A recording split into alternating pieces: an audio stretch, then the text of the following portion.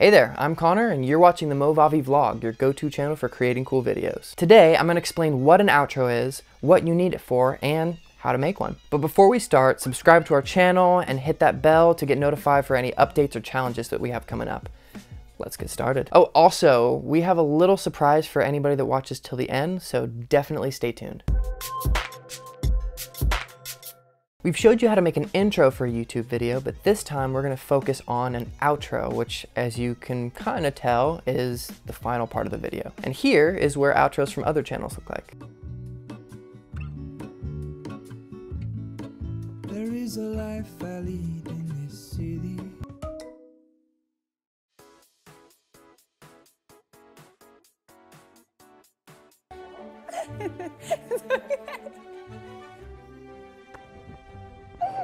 We need outros because it gives us the opportunity to use YouTube end screens, for example, a subscribe button or a preview for another video. The link to an episode on end screens is going to be here and in the description. There are plenty of variations of outros, like this one for example. It's not the best way to conclude your video or to add an end screen, it just covers up the character. And in some cases, they simply won't let you read the credits. So this is how not to do an outro. Here's a standard case.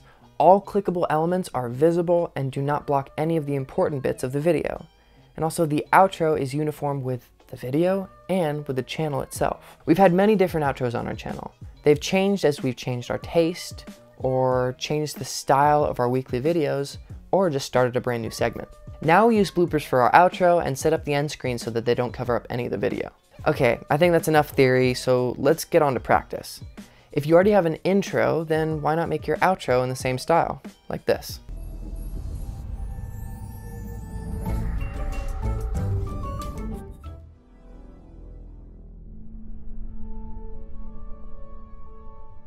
And I have to note that an outro can use either a photo or a video. It doesn't really matter, it's up to you. But what's important is that the end screens are framed correctly and don't really block anything.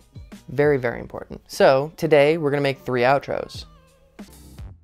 Let's take a still background from the Movavi Effects Store, the built-in Movavi collection, or even your own folder, and place a call to action title right over it. We went for the background and the title Bandage 1 from the fitness set.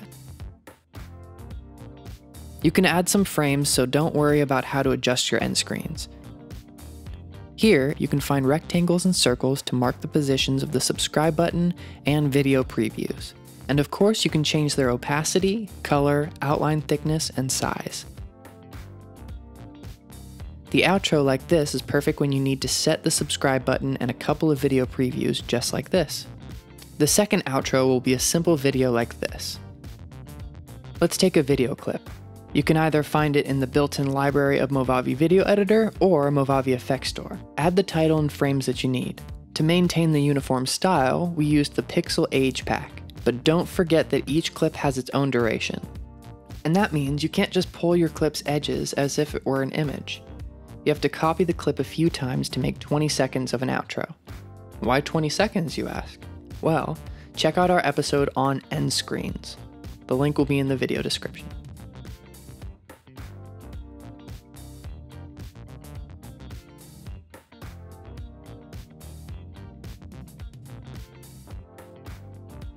The third outro is hard to create, but it looks somewhat original. If you're good at drawing, feel free here to use your skills. Draw an outro that fits your channel style. We're not artists whatsoever, and that's why we go for filming a special piece of footage. Do you remember the intro with Daria? So why not make an outro with Roman? We've taken some shots of Roman in front of the green screen.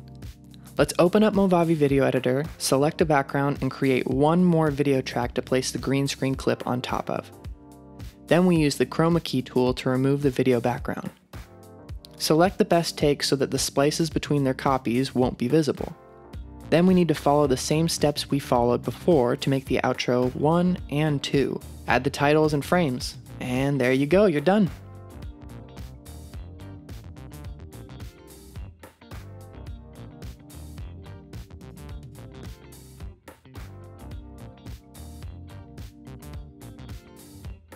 I think it looks great, but do you agree?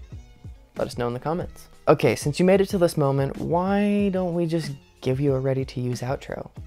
The download link, much like all the Movavi effects that we used in this video, are going to be in the description as usual. So go ahead, and if you want to create your own outro using the wonderful tips that we've given you, then feel free to share a link to that in the comment section below. Bye.